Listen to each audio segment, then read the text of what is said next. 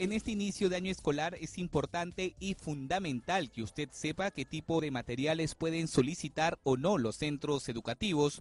No se deje sorprender con las listas de útiles escolares, pues de acuerdo a Indecopi, los colegios solo pueden exigir materiales estrictamente educativos. Lo que está permitido, la regla de juego, es que el colegio te exija el material educativo que necesita tu hija y tu hijo para aprender. Es decir, jabón, papel higiénico, papel toalla, que son artículos de limpieza puntualmente.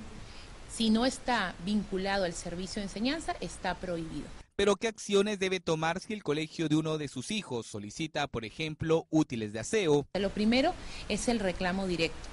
Levanto la mano y le digo al director, a la profesora, a la tutora, ¿qué tiene que ver esto con el servicio de enseñanza?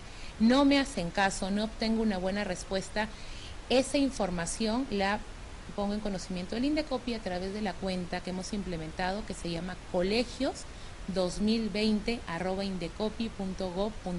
Además de esto, debe tener en cuenta que los colegios no pueden pedir ningún tipo de pago adicional a los ya establecidos. ¿Qué ocurre con estos conceptos que a veces solicitan en los centros educativos, rifas o algún aporte para alguna kermés, por ejemplo?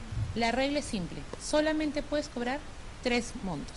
Cuota de ingreso por única vez, la matrícula, que no puede ser el monto mayor a la pensión, y la pensión mensual cada vez que se va brindando el servicio.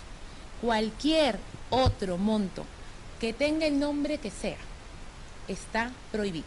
Si algún centro educativo incurre en alguna de estas irregularidades, podría ser severamente sancionado con una multa de hasta 2 millones de soles.